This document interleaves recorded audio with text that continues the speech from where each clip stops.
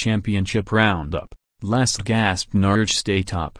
Norwich scored a last gasp winner against Bolton to maintain their lead at the top of the championship. Daniel Farke's side looked set to be leapfrogged by Leeds after a late Bolton fightback.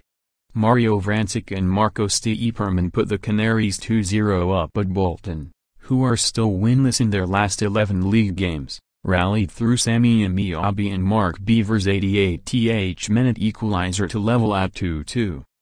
Ameobi was then sent off as the 90 minutes expired before Teemu Pukki struck the winner three minutes into stoppage time.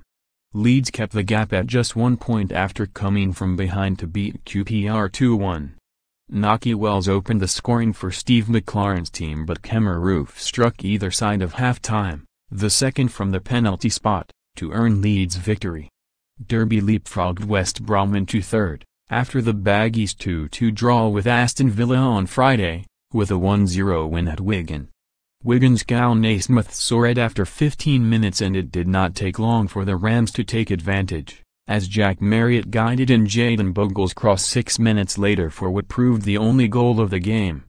Middlesbrough lost ground on the leaders after being held 1-1 at home to Blackburn.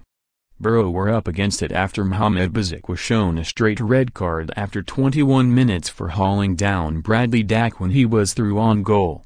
Charlie Mulgrew fired Rovers ahead from the resulting free kick.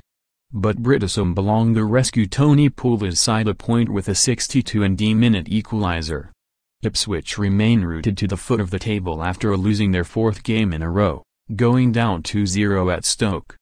The hosts took the lead in first half stoppage time as Sam Clucas slipped in Tom Ince, who fired past Dean Gerken. Joe Allen made it two on the hour mark to extend Stoke's unbeaten league run to eight games. A scintillating first-half display was enough for Swansea to edge past Brentford 3-2 at Griffin Park.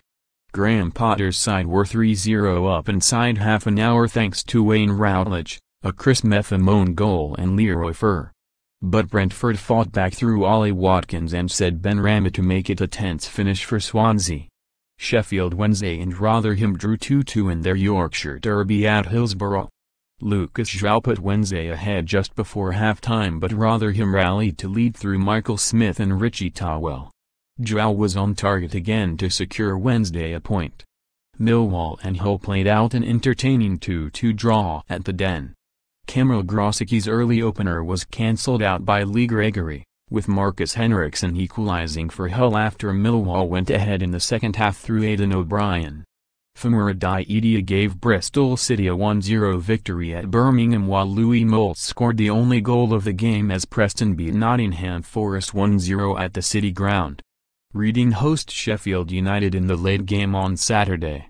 Predict 6 correct scores for your chance to win £250,000.